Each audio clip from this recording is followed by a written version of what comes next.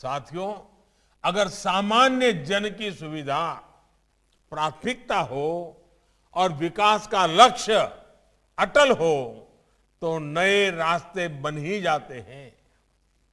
मजुली और नेमाती के बीच रोपैक्स सेवा ऐसा ही एक रास्ता है।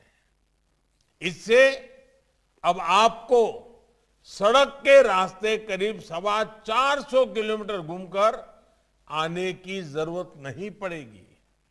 अब आप रोपैक्स से सिर्फ़ 12 किलोमीटर का सफ़र करते हुए अपनी साइकिल, स्कूटर, बाइक या कार को जहाज़ में ले जा सकते हैं।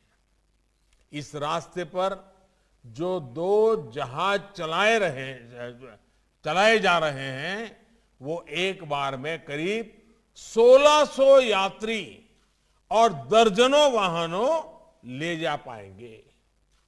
ऐसी ही सुविधा अब गुवाहाटी के लोगों को भी मिलेगी।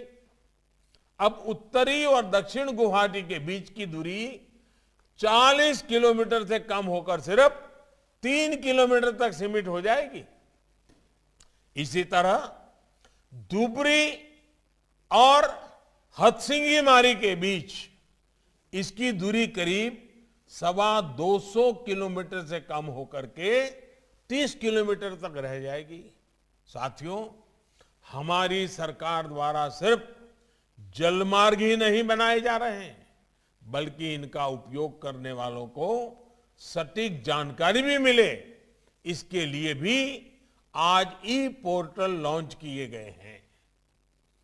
कार डी पोर्टल से नेशनल वाटरवे सभी कार्गो और कुछ से जुड़े ट्रैफ़िक डेटा को रियल टाइम पर कलेक्ट करने में मदद मिलेगी। इसी तरह पानी पोर्टल पानी पोर्टल नौचालन के अलावा वाटरवे के इंफ्रास्ट्रक्चर से जुड़ी जानकारियाँ भी देगा। जीआईएस आधारित भारत मैप पोर्टल उन लोगों की मदद करता है जो यहाँ घूमने फिरने या व्यापार कारोबार के लिए आना चाहते हैं। आत्मनिर्भर भारत के लिए मल्टी मॉडल कनेक्टिविटी का देश में विकास हो रहा है, असम उसका बेहतरीन उदाहरण होने वाला है।